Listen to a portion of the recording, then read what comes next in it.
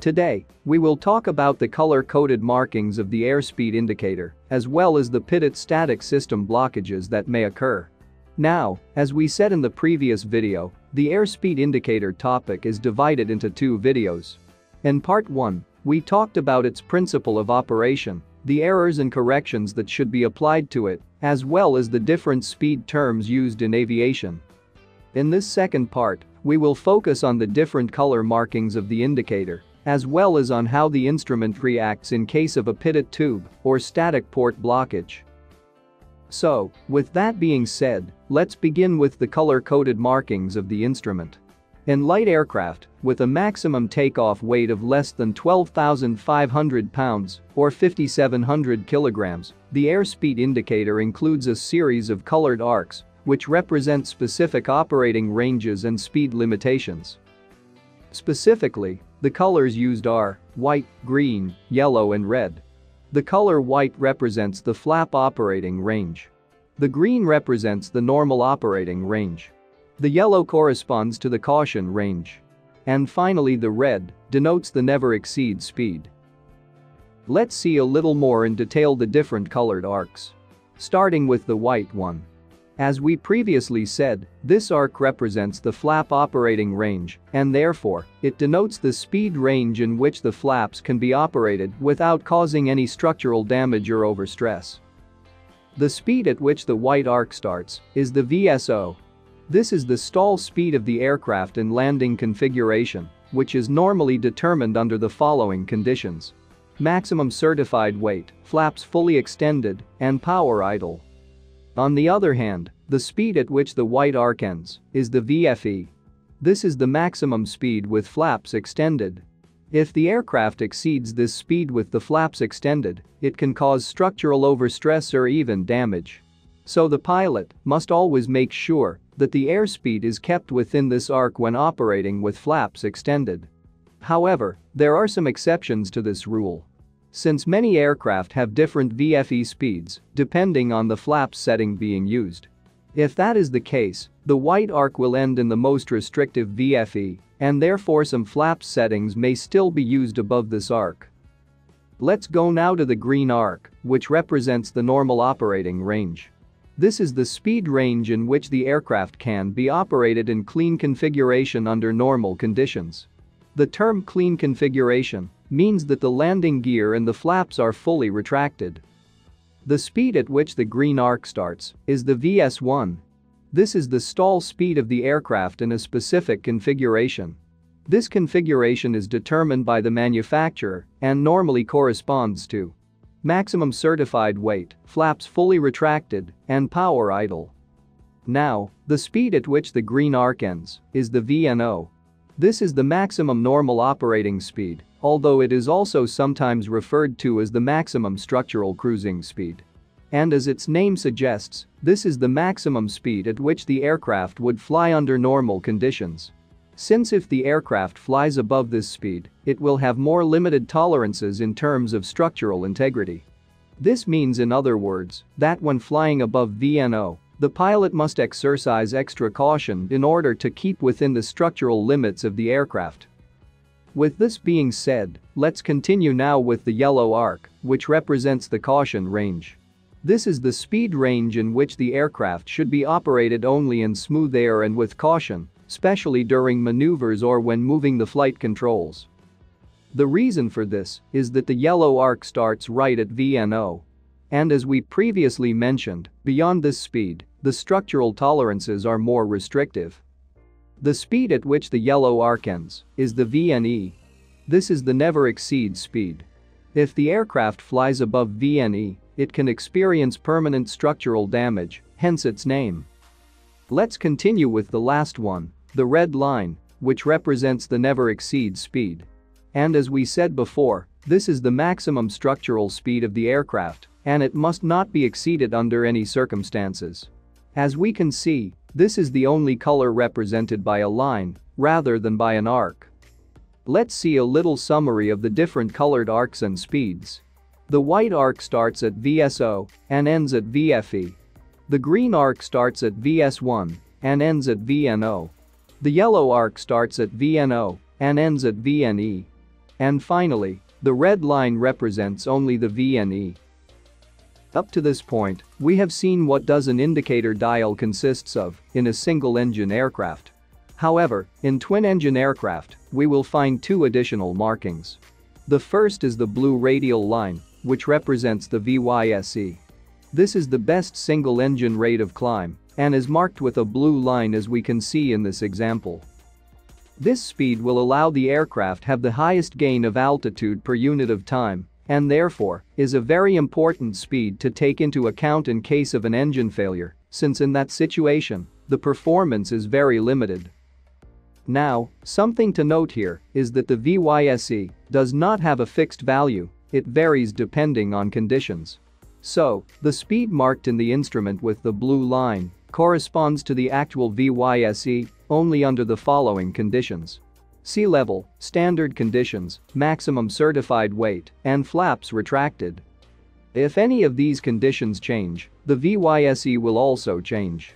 So the pilot must take this into account when operating the aircraft in different scenarios.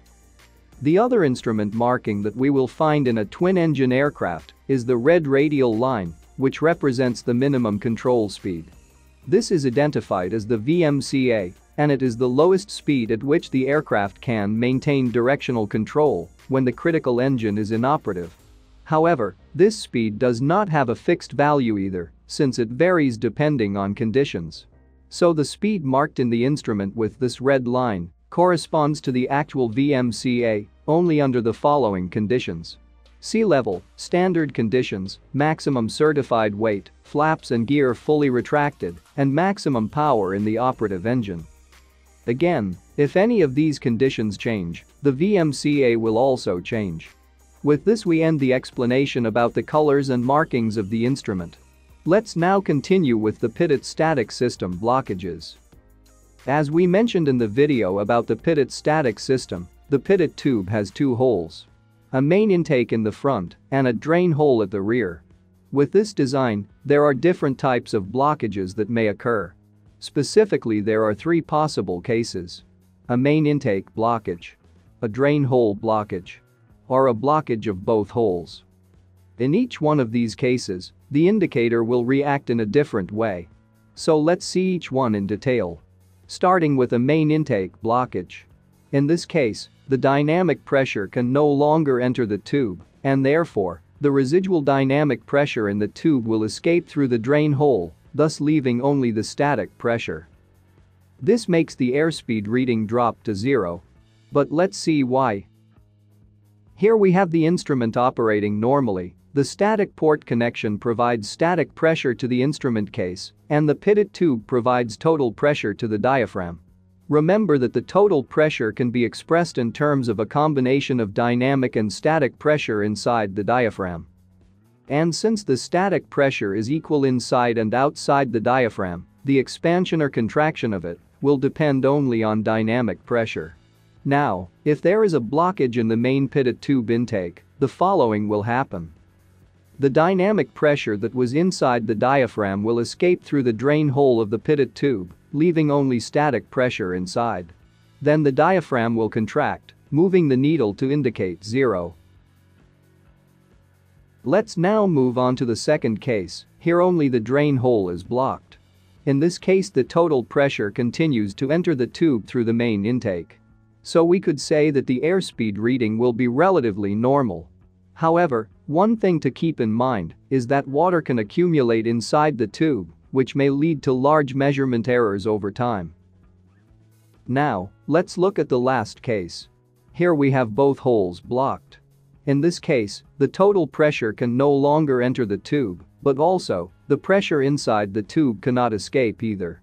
This way, the pressure trapped inside the system will give a false airspeed reading. Now, as long as the aircraft maintains altitude, the airspeed indicator will freeze, indicating the last speed measured before the blockage. On the other hand, if the aircraft climbs or descends, the instrument will act as if it were an altimeter.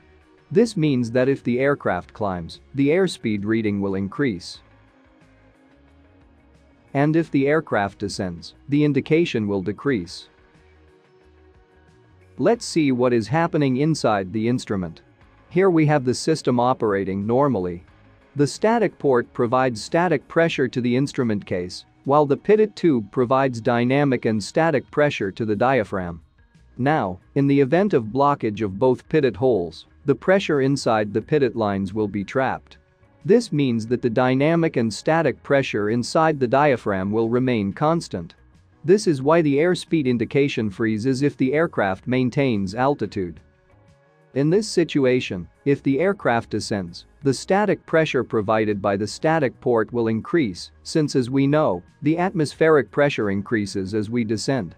With this, we can now observe that the static pressure inside and outside the diaphragm is different.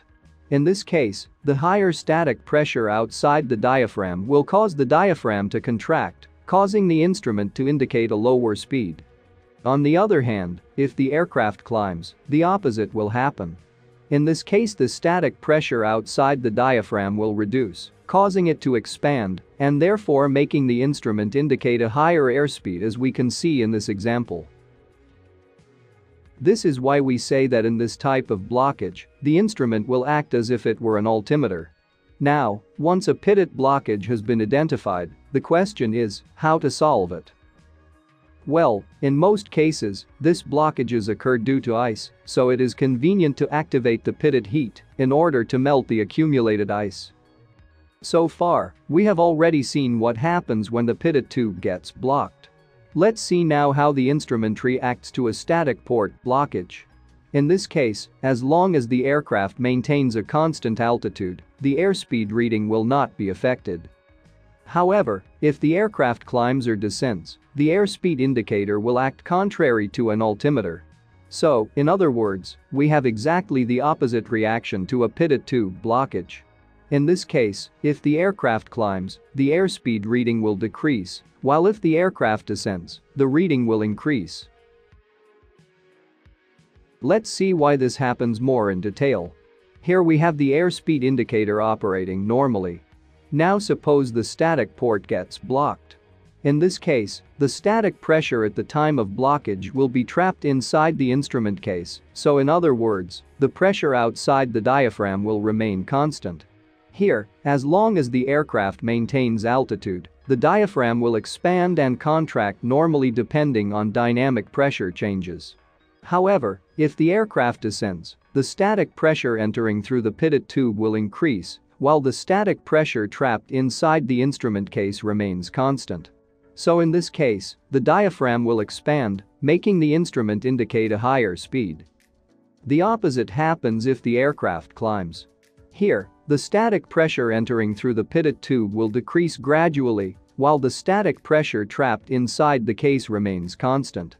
This causes the diaphragm to contract and therefore make the instrument indicate a lower speed. Now, once a static port blockage has been identified, the question is, how to solve it? Well, in most aircraft we can find an alternate static source, which allows static pressure to enter the system. Therefore, when suspecting a static port blockage, this alternate static source must be activated. However, there is something to keep in mind. It is that the static pressure provided by this alternate source is slightly different from the real one so it is necessary to consult the correction tables for the airspeed indicator published in the aircraft manual regarding the use of the alternate static source. This correction table considers the aircraft configuration and ventilation in order to show the corrected speed values. And it is important to make sure that the table being used is for the alternate static source instead of the normal one. I hope the information presented in this video has been useful if so, don't forget to share, like, subscribe, and leave a comment down below. Thanks for watching.